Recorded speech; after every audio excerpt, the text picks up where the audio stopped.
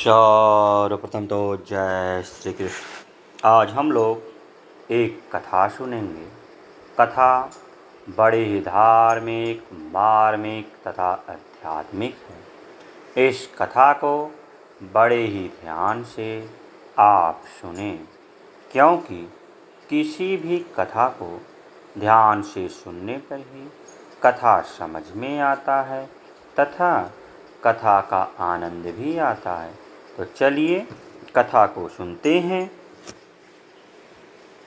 शेष जी कहते हैं द्विज श्रेष्ठ तदनंतर बधे हुए चमर से सुशोभित, वह यज्ञ संबंधी अश्व हज़ारों योद्धाओं से सुरक्षित होकर भारतवर्ष के अंत में स्थित हेमकूट पर्वत पर गया, जो चारों ओर से दस हज़ार योजन लंबा चौड़ा है। उसके सुंदर शिखर, सोने चांदी आदि धातुओं के हैं। वहाँ एक विशाल उद्यान है, जो बहुत ही सुंदर और भांति भांति के वृक्षों से सुशोभित है। घोड़ा उसमें प्रवेश कर गया। वहाँ जाने पर उस अश्व के संबंध में सहसा एक आश्चर्यजनक घटना हुई। उसे बतलाता हूँ, सुनिए। अकस्मात उसका सारा शरीर अकड़ गया। वह हिलडुल नहीं पाता था। मार्ग में खड़ा खड़ा। वह हेमकूट पर्वत की भांति अविचल प्रतीत होने लगा। अश्व के रक्षकों ने शत्रुघ्न के पास जाकर पुकार मचाई। स्वामीन, हम नहीं जानते घोड़े को क्या हो गया? अकस्मात उसका संपूर्ण शरीर स्तब्ध हो गया है। इस बात पर विचार कर जो कुछ करना उचित जान पड़े, कीजिए। यह सुनकर राजा शत्रुघ्न को बड़ा विस्मय हुआ। वे अपने समस्त सैनिकों के साथ अश्व के निकट गए। पुष्कल ने अपनी बाह से पकड़कर उसके दोनों चरणों को धरती से ऊपर उठाने का प्रयत्न किया। परंतु वे अपने स्थान से हिल भी न सके। तब शत्रुघ्न ने सुमति से पूछा, मंत्रीवर, घोड़े को क्या हुआ है जो इसका सारा शरीर अकड़ गया। अब यहाँ क्या उपाय करना चाहिए? जिससे इसमें चलने की शक्ति आ जाए। सुमति ने कहा, स्वामिन, किन्हीं ऐसे ऋषि मुनि की खोज करनी चाहिए। जो सब बातों को जानने में कुशल हो। मैं तो लोक में होने वाले प्रत्यक्ष विषयों को ही जानता हूँ। परोक्ष में मेरी गति नहीं है। शेष जी कहते हैं सुमत की यह बात सुनकर धर्म के ज्ञाता, शत्रुघ्न अपने सेवकों द्वारा ऋषि की खोज कराई। एक सेवक वहाँ से एक योजन दूर पूर्व दिशा की ओर गया। वहाँ उसे एक बहुत बड़ा आश्रम दिखाई दिया, जहाँ के पशु और मनुष्य सभी परस्पर बैर भाव से रहित थे। गंगा जी में स्नान करने के कारण उनके समस्त पाप दूर हो गए थे। तथा वे शब के शब बड़े मनोहर दिखाई देते थे। वह शौनक मुनि का मनोहर आश्रम था।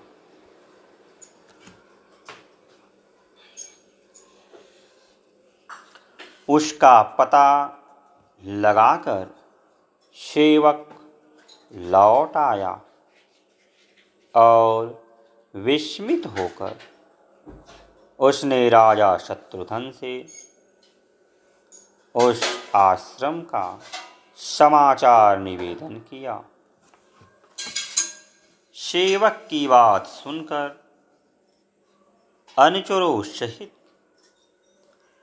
शत्रुघ्न को बड़ा सहर्ष हुआ।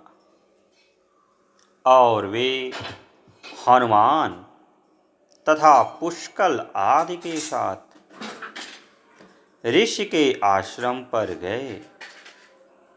वहाँ जाकर उन्होंने मुनि के पापहारी चरणों में साष्टांग प्रणाम किया।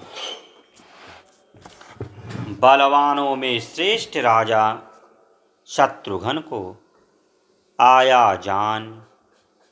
शौनक मुनि ने अर्घ, पाद आदि देकर उनका स्वागत किया। उनके दर्शन से मुनि को बड़ी प्रसन्नता हुई। शत्रुघ्न जी सुखपूर्वक बैठकर जब विश्राम कर चुके तो मुनीश्वर ने पूछा, राजन, तुम किस लिए भ्रमण कर रहे हो? तुम्हारी यह यात्रा तो बड़ी दूर की जान पड़ती है। मुनि की यह बात सुनकर राजा शत्रुघ्न का शरीर हर्ष से पुलकित हो उठा। वे अपना परिचय देते हुए गदगद वाणी में बोले, महर्षि, मेरा अश्व अकस्मात एक फूलों से सुशोभित उद्यान में चला गया। उसके भीतर एक किनारे पर पहुँचते ही तत्काल उसका शरीर अकड़ गया। इसके कारण हम लोग अपार दुख के समुद्र में डूब रहे हैं। आप नौका बनकर हमें बचाइए। हमें या हमारे बड़े भाग्य थे जो दैवात आपका दर्शन हुआ। घोड़े की इस अवस्था का प्रधान कारण क्या है, यह बताने की कृपा कीजिए। शत्रुघ्न के इस प्रकार पूछने पर परम बुद्धिमान मुनि श्रेष्ठ शौनक ने थोड़ी देर तक ध्यान किया। फिर एक ही क्षण में सारा रहस्य समझ में आ गया। उनकी आँखें आश्चर्य से खिल उठी। तथा वे दुख और संशय में पड़े हुए राजा शत्रुघ्न से बोले, राजन, मैं अश्व के गात्र स्तंभ का कारण बताता हूँ। सुनो, गौड़ देश के सुरम्य प्रदेश में कावेरी तट पर सात्विक नाम का एक ब्राह्मण बड़ी भारी तपस्या कर रहा था। वह एक दिन जल पीता, दूसरे दिन हवा पीकर रहता और तीसरे दिन कुछ भी नहीं खाता था। इस प्रकार तीन तीन दिन का व्रत लेकर वह समय व्यतीत करता था। उसका यह व्रत चल ही रहा था कि शव का विनाश करने वाले काल ने उसे अपने दाढ़ों में ले लिया। उस महान व्रतधारी तपस्वी की मृत्यु हो गई।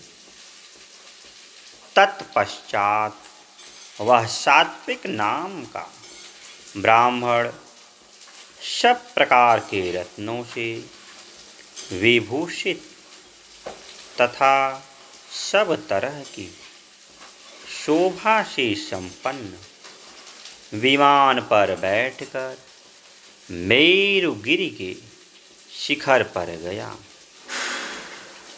वहाँ जम्बू नाम की नदी बहती थी,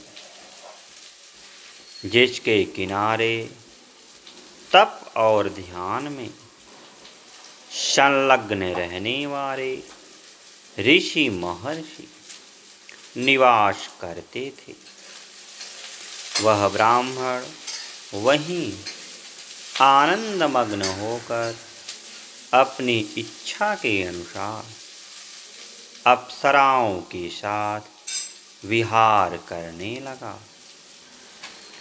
अभिमान और मद से उन्मत्त होकर उसने वहाँ रहने वाले ऋषियों के प्रतिकूल वर्ताव किया। इससे रुष्ट होकर उन ऋषियों ने शाप दिया, जा तो राक्षस हो जा।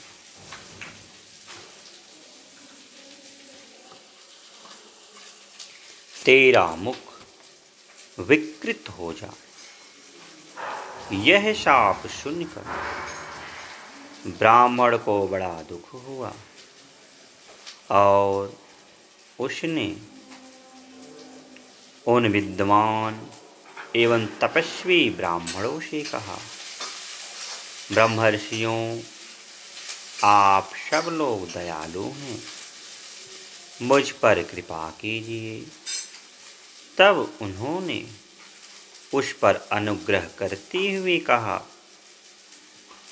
जिस समय तुम श्री रामचंद्र जी के अश्व को अपने बेग से स्तब्ध कर दोगे उस समय। तुम्हें श्री राम की कथा सुनने का अवसर मिलेगा। उसके बाद इस भयंकर शाप से तुम्हारी मुक्ति हो जाएगी। मुनियों के कथनानुसार उसी ने यहाँ राक्षस होकर श्री रघुनाथ जी के अश्व को स्तंभित किया है। अतः तुम कीर्तन के द्वारा घोड़े को उसके चंगुल से छुड़ाओ। मुनि का यह कथन सुनकर शत्रुवीरों का दमन करने वाले शत्रुघ्न के मन में बड़ा विस्मय हुआ। वे शौनक से बोले, कर्म की बात बड़ी गहन है, जिससे सात्विक नामधारी ब्राह्मण अपने महान कर्म से स्वर्ग में पहुंचकर भी पुनः राक्षस भाव को प्राप्त हो गया। स्वामिन, आप कर्मों के अनुसार जैसी गति होती है, उसका वर्णन कीजिए। जिस कर्म के परिणाम से जैसे नरक की प्राप्ति होती है, उसे बताइए। शौनक ने कहा, रघुकुल श्रेष्ठ, तुम धन्य हो। जो तुम्हारी बुद्धि सदा ऐसी बातों को जानने और सुनने में लगी रहती है। इसमें संदेह नहीं कि तुम इस विषय को भली भांति जानते हो तो भी लोगों के हित के लिए मुझसे पूछ रहे हो। महाराज, कर्मों के स्वरूप विचित्र हैं, तथा उनकी गति भी नाना प्रकार की हैं। मैं उसका वर्णन करता हूँ। सुनो। इस विषय का श्रवण करने से मनुष्यों को मोक्ष की प्राप्ति हो सकती है। जो दुष्ट बुद्धि वाला पुरुष, पराये धन, पराई संतान और पराई स्त्री को भोग बुद्धि से बलात् अपने अधिकार में कर लेता है। उसको महाबली यमदूत काल पास में बांधकर तामिस्त्र नामक नरक में गिराते हैं। और जब तक एक हज़ार वर्ष पूरे नहीं हो जाते। तब तक उसी में रखते हैं।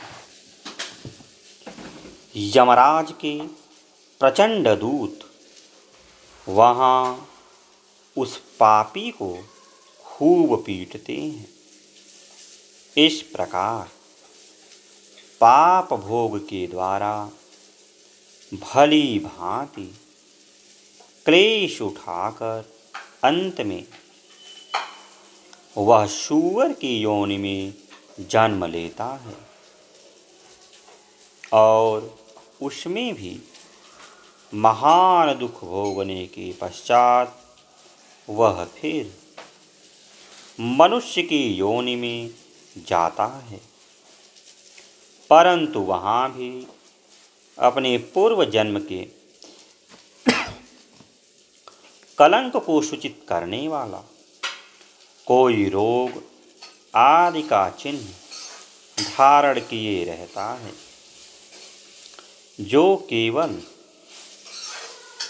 दूसरे प्राणियों से द्रोह करके ही अपने कुटुंब का पोषण करता है, वह पाप परायण पुरुष अंधता मिश्र नरक में पड़ता है। जो लोग यहाँ दूसरे प्राणियों का वध करते हैं, वे रौरक नरक में गिराए जाते हैं तथा रुरु नामक पक्षी रोष में भरकर उनका शरीर नोचते हैं, जो अपने पेट के लिए दूसरे जीवों का वध करता है, उसे यमराज की आज्ञा से महारव रव नामक नगर में नरक में डाला जाता है। जो पापी अपने पिता और ब्राह्मण से द्वेष करता है, वह महान दुखमय कालसूत्र नरक में, जिसका विस्तार दस हज़ार योजन है, पड़ता है। जो गौओं से द्रोह करता है, उसे यमराज के किंकर नरक में डालकर पकाते हैं। वह भी थोड़े समय तक नहीं। गौओं के शरीर में जितने रोए होते हैं, उतने ही हज़ार वर्ष तक, जो इस पृथ्वी का राजा होकर दंड न देने योग्य, पुरुषों को दंड देता है। तथा लोभवश, अन्यायपूर्वक, ब्राह्मणों को भी शारीरिक दंड देता है। उसे शूवर के समान मुँह वाले दुष्ट यमदूत पीड़ा देते हैं। तत्पश्चात वह शेष पापों से छुटकारा पाने के लिए दुष्ट योनियों में जन्म ग्रहण करता है।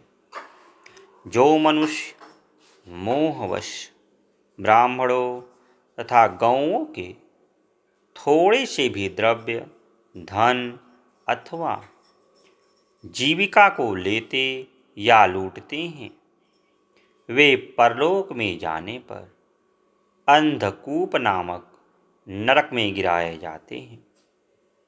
वहाँ उनको महान कष्ट भोगना पड़ता है। जो जीव के लिए आतुर हो, लोलूपतावश स्वयं ही मधुर अन्न लेकर खा जाता है। देवताओं तथा सुहृदय को नहीं देता, वह निश्चय ही कृमि भोजन नामक नरक में पड़ता है।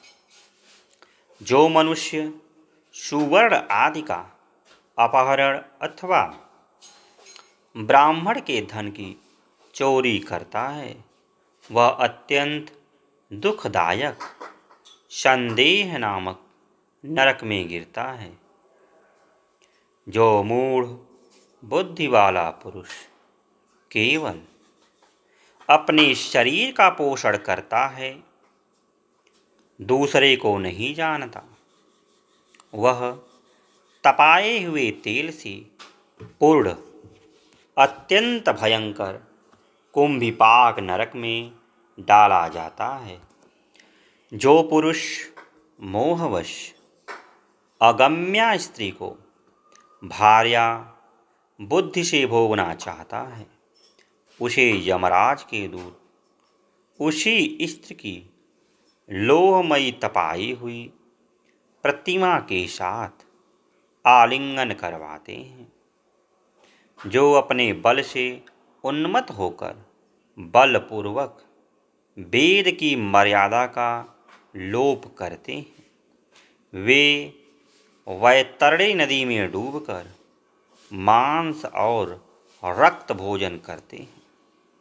जो द्विज होकर शुद्र की स्त्री को अपनी भार्या बनाकर उसके साथ गृहस्थी चलाता है।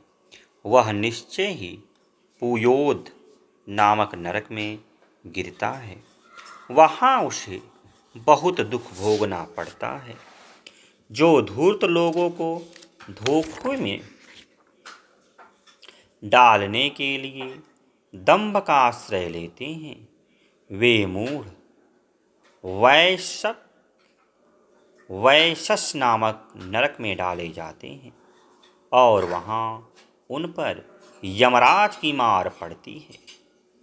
जो मूढ़ सवर्णा समान गोत्र वाली स्त्री की योनि में वीर्यपात करते हैं, उन्हें वीर की नहर में डाला जाता है और वे वीर्य पी कर ही रहते हैं।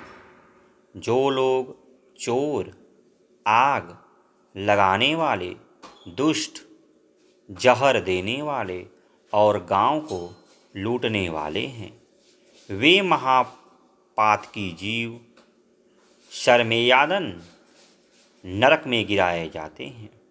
जो पाप राशि का संचय करने वाला पुरुष झूठी गवाही देता या बलपूर्वक दूसरों का धन छीन लेता है, वह पापी अविचि नामक नरक में नीचे सिर करके डाल दिया जाता है। उसमें महान दुख भोगने के पश्चात वह पुनः अत्यंत पापमयी योनि में जन्म लेता है। जो मूढ़ सुरा पान करता है, उसे धर्मराज के दूत गरम गरम लोहे का रस पिलाते हैं, जो अपनी विद्या और आचार के घमंड में आकर गुरुजनों का अनादर करता है, वह मनुष्य मृत्यु के पश्चात छार नरक में नीचे मुँह करके गिराया जाता है। जो लोग धर्म से बहिष्कृत होकर विश्वासघात करते हैं, उन्हें अत्यंत यातनापूर्ण सूल प्रोत नरक में डाला जाता है, जो चुगली करके सब लोगों को अपने वचन से उद्वेग डाला करता है, वह दंद सुख नामक नरक में पड़कर दंद सुखो सर्पों द्वारा डसा जाता है। राजन इस प्रकार पापियों के लिए अनेकों नरक हैं। पाप करके वे उन्हीं में जाते और अत्यंत भयंकर यातना भोगते हैं। जिन्होंने श्री रामचंद्र जी की कथा नहीं सुनी है तथा दूसरों का उपकार नहीं किया, उनको नरक के भीतर सब तरह के दुख भोगने पड़ते हैं। इस लोक में भी जिसको अधिक सुख प्राप्त है, उसके लिए वह स्वर्ग कहलाता है। तथा जो रोगी और दुखी है, वे नरक में ही हैं। दान पुण्य में लगे रहने तीर्थ आदि का सेवन करने श्री रघुनाथ जी का लीलाओं को सुनने अथवा तपस्या करने से पापों का नाश होता है। हरि कीर्तन रूपी नदी ही मनुष्य के लिए सब उपायों से श्रेष्ठ है। वह पापियों के सारे पाप पंख को धो डालती है। इस विषय में कोई अन्यथा विचार करने की आवश्यकता नहीं है। जो भगवान का अपमान करता है, उसे गंगा भी नहीं पवित्र करती। पवित्र से पवित्र तीर्थ भी उसे पावन बनाने की शक्ति नहीं रखते। जो ज्ञानहीन होने के कारण भगवान के लीला कीर्तन का उपहास करता है, उसको कल्प के अंत भी नरक से छुटकारा नहीं मिलता। राजन, अब तुम जाओ और घोड़े को संकट से छुड़ाने के लिए सेवकों सहित भगवान का चरित्र सुनाओ, जिससे अश्व में पुनः चलने फिरने की शक्ति आ जाए। शेष जी कहते हैं, शौनक जी की उपयुक्त बात सुनकर शत्रुघ्न को बड़ी प्रसन्नता हुई। वे मुनि को प्रणाम कर और परिक्रमा करके शिव को सहित चले गए। वहाँ जाकर हनुमान जी ने घोड़े के पास श्री रघुनाथ जी के चरित्र का वर्णन किया, जो बड़ी से बड़ी दुर्गति का नाश करने वाला है। अंत में उन्होंने कहा, देव, आप श्री रामचंद्र जी के कीर्तन के पोड़ से अपने विमान पर सवार होइए और स्वेच्छानुसार अपने लोक में विचरण कीजिए। इस कुत्सित यौन से अब आपका छुटकारा हो जाए। यह वाक्य सुनकर देवता ने कहा, राजन, मैं श्री रामचंद्र जी का कीर्तन सुनने से पवित्र हो गया। महामते, अब मैं अपने लोक को जा रहा हूँ। आप मुझे आज्ञा दीजिए। यह कहकर देवता विमान पर बैठे हुए स्वर्ग चले गए। उस समय यह दृश्य देखकर शत्रुघ्न और उनके सेवकों को बड़ा विस्मय हुआ। तदनंतर वह अश्व गात्र स्तंभ से मुक्त होकर पक्षियों से भरे हुए उस उद्यान में सब और भ्रमण करने लगा। तो आज के लिए इतना ही। फिर किसी दिन अन्य वीडियो मिलते हैं। तब तक के लिए जय श्री कृष्ण। जय श्री कृष्ण।